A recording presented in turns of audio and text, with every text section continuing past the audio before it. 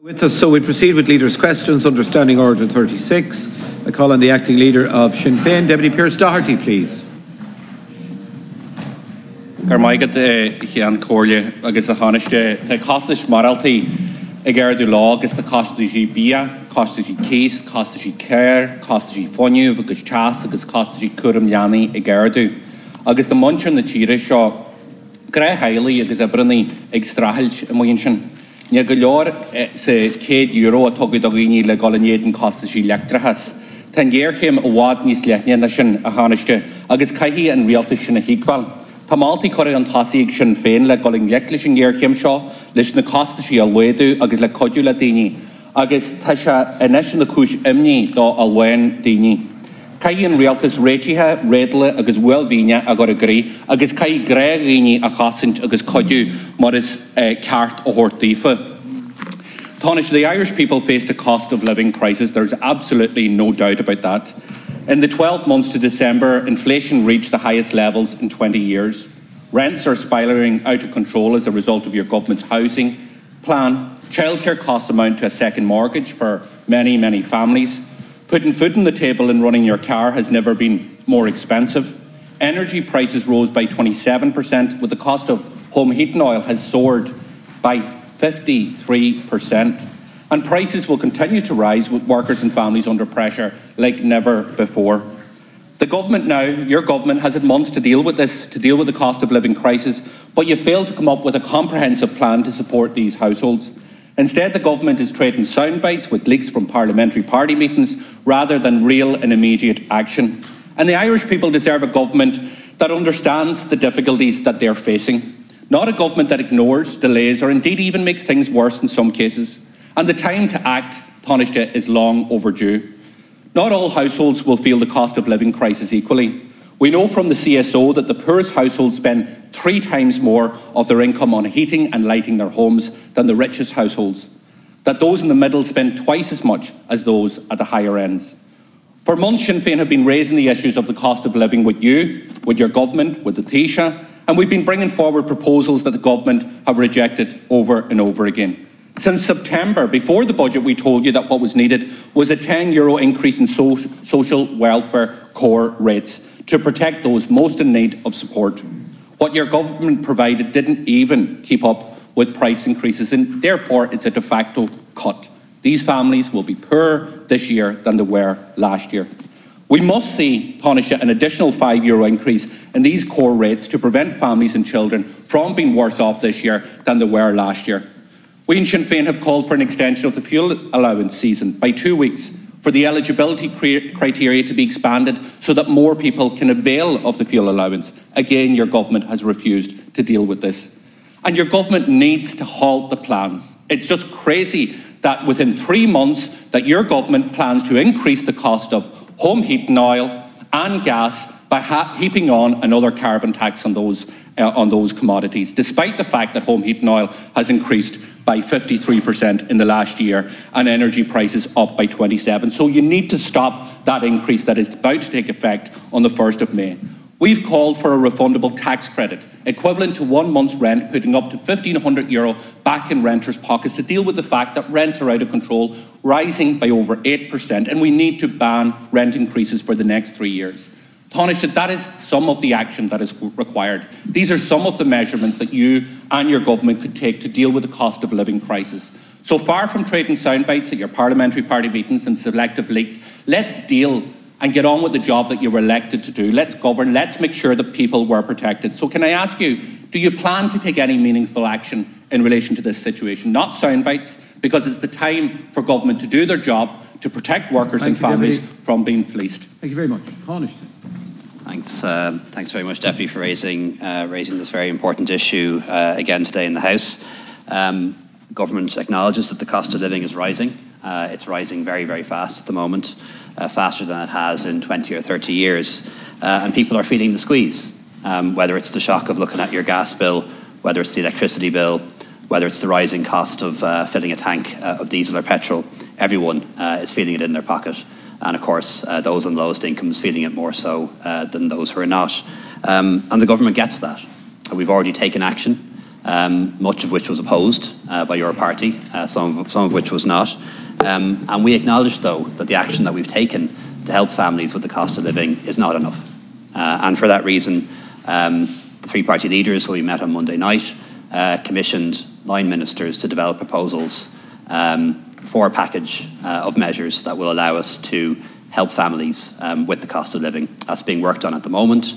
We'll have further discussions on it uh, today, um, meeting with the unions and employers this afternoon, a chance to discuss it then. Uh, there'll be uh, a committee meeting of the Economic um, uh, Cabinet Committee, which I chair next week, which will be another chance to discuss it as well. We will make a decision on it, and we'll make it soon, uh, certainly in the next couple of weeks, um, because we do acknowledge acknowledge that the cost of living is rising. Uh, we acknowledge uh, that it's uh, causing a huge squeeze for a lot of families. Um, and we acknowledge that as a government we have to do something about it. And we're aware that other governments in other parts of the world have taken action too. Uh, and we believe uh, we must do so as well. Uh, I think in terms of the context, it's important to bear in mind that when the budget was prepared um, back last September, October, the estimates for inflation were somewhere between 2 and 3%, and we built the budget on that basis. Um, but that is not the case. Uh, it turns out that inflation has been much higher, it's in around 5%, uh, and rather than being a temporary phenomenon, uh, while it might moderate, it looks like we may be stuck with high inflation for a longer period than we would have anticipated. So when facts change, uh, you need to adjust your policies, um, and that's what we intend to do. Um, but I would point out um, that this time last June, uh, because of inflation, and back as far as March, last March, I was talking about the possibility of inflation. Um, as far back as last June, uh, I was strongly advocating uh, for a personal tax package, welfare increases, and pension increases in the budget.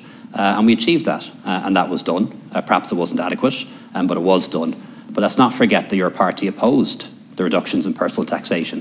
Why did I advocate uh, reductions in personal taxation? To make sure that people getting a pay increase got to keep it. Because people earning over 38,000 to get a pay increase lose half of it in income tax. So I wanted to make sure that people getting a pay increase, and thankfully most people will get a pay increase this year, got to hold on to it. Uh, you didn't want that.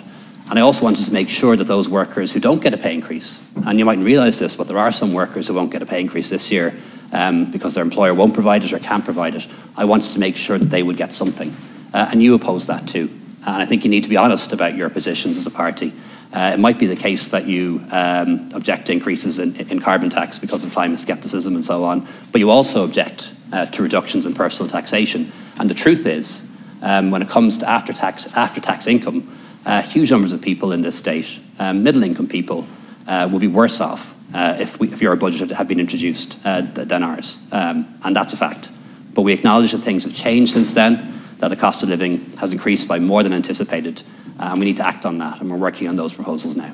Thank you, Taoiseach. Deputy Doherty. Minister, the cost of living crisis didn't just fall from the sky overnight. It's been here with us for many, many months. We've been raising that with you. Indeed, we've been raising that with you before the budget. You failed to adequately protect those in social welfare recipients who pay three times more than the highest and the wealthiest in the state on energy costs. So therefore, under your package that you approved the budget, they are going to be poorer by hundreds of euros this year than they were last year. So I'm asking you, we have a proposal. The way to do this is to insulate them from that cost of living crisis by increasing core social welfare by 5%. You plan to increase, you plan to increase the cost of oil and gas on households on the 1st of May, less than three months. 17 euro in terms of gas, 19 euro for every fill in terms of uh, home heat and oil. That has already increased by 53%. Can you stand here and say that you will stop that increase taking place at a time when people are seriously struggling? Rent is a serious impact in terms of inflation also. It is increasing by 8%. We need to ban rent increases. We put those proposals before you, not weeks, not months, but actually years, and put back into people's pockets a refundable tax credit of up to 1,500 euro. And cutting the cost of childcare Taoiseach is another way to reduce the cost of, uh, of, of, of, living on these families by reducing it by a third, by making the proper investment. There are solutions Thank there. You. We've given you them time and time again. Can I ask you, what are you going to act on? Thanks, Deputy. Um, the government acknowledges that uh, inflation, particularly the type of inflation that we have at the moment, which is very much driven by higher energy prices, uh, is, is impacting uh, on those with lower incomes more so than those with higher incomes. Um, that's clear. Uh, people on lower incomes spend more on energy, spend more on fuel, or a higher percentage of their income on energy and fuel and groceries than people on, on higher incomes as a consequence of that. And you're right about this. Uh, inflation impacts on different households in different ways. Uh, and inflation at the moment is impacting more seriously on lower income households um, than higher income households. Um, in recognition of that, uh, in the budget we did increase core social welfare rates. We also increased fuel allowance. We also increased the living alone allowance, and we also increased the child dependent allowance. And we did those things uh, precisely because um, it was the lowest incomes that were impacted uh, most. But as I said earlier, uh, we acknowledge that more needs to be done. We're working on those proposals now. Uh, I hear your proposal for an increase uh, in core social welfare rates. The difficulty with that uh, is that a lot of working people aren't on social welfare. And you mightn't appreciate this, but people who are working hard, people who are in middle incomes on paper, even people who may look like they've good incomes on paper, also have, have to deal with a high cost of living, and your proposal would exclude them. It would only, it would, oh, yeah, yeah, but, but what about somebody who has a mortgage? What about somebody who's not on social welfare? Your proposal wouldn't help them. Thank you, Childcare, rent, please. fuel allowance We move eligibility. now to the